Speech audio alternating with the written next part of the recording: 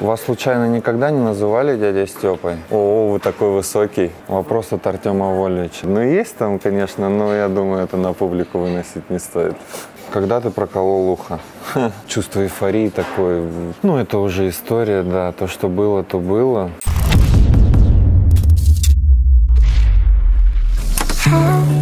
Have you been smiling? It seems like it's been too long.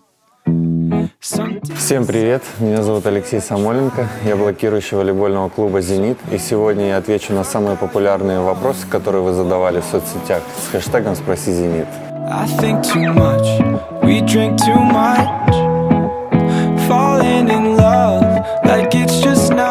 Первый вопрос от ЗТВ. Алексей, какие три самых популярных вопроса тебе обычно задают и ответь на них?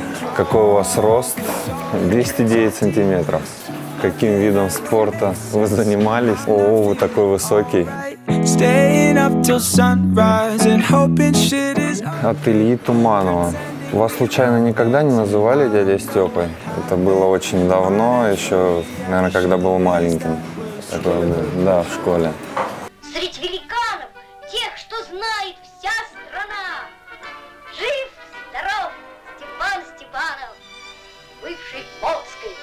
старшина. Алексей Зазуля, если бы предложили поучаствовать в рэп-батле, как Будько и Кроткого, согласились бы? Ну, наверное, нет, не согласился, потому что я могу послушать рэп, а читать его это не мое. Ну, в принципе, как и не Валина. Не могут запомнить Коротков, это потому что ты не приносишь команде очков. Hello, darkness, my old friend.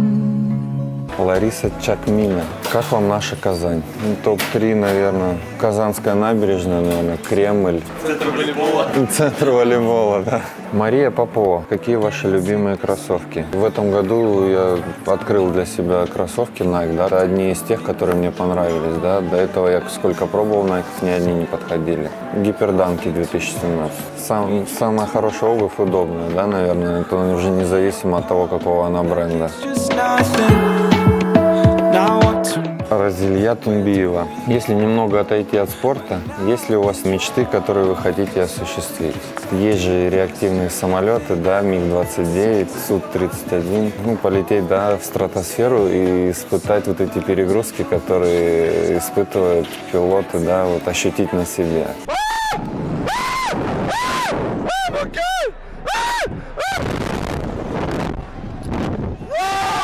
Денис Вараксин. Здравствуй, Алексей. Когда наступ- настали решающие игры на клубном чемпионате мира для нашей команды, твоя супруга Ксения подарила тебе сына. Скажи, пожалуйста, рождение сына как-то тебя окрылило, мотивировало? Сложно передать, да, свои эмоции, что испытывал на тот момент, потому что, ну, какое-то чувство умиротворения, ну, счастья, не знаю, это просто такие эмоции, которые просто не передать словами. Чувство эйфории такое, ха, сложно, блин, так передать словами эти эмоции, которые испытывал. Стало больше ответственности, наверное, можно так сказать. Больше хлопот появилось, да. А хлопоты, они все равно приятные. Пусть они мелкие, но приятные хлопоты.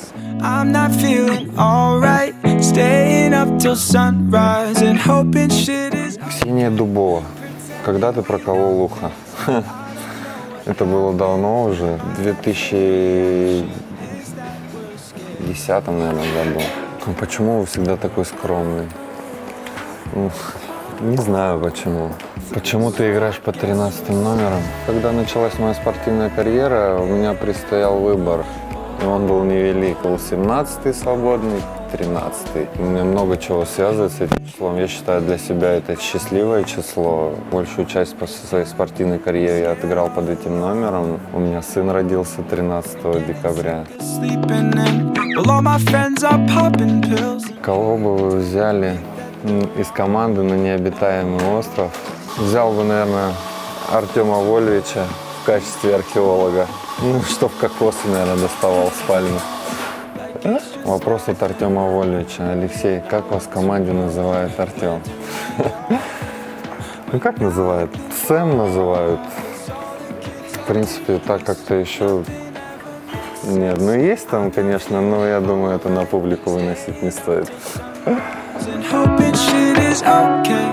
Воли 10 спрашивает, было ли вам страшно играть против Симона? Когда играешь против такой команды, против тех людей, которые стоят на той стороне. Здорово проверить свои силы.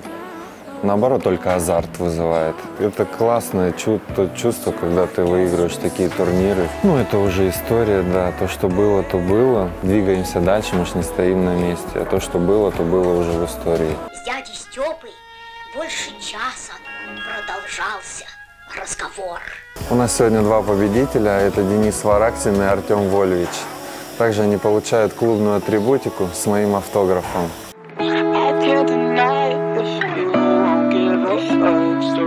Всем спасибо. Болейте за «Зенит». Приходите и поддержите нас в мае на финал Лиги чемпионов, который пройдет в Казани.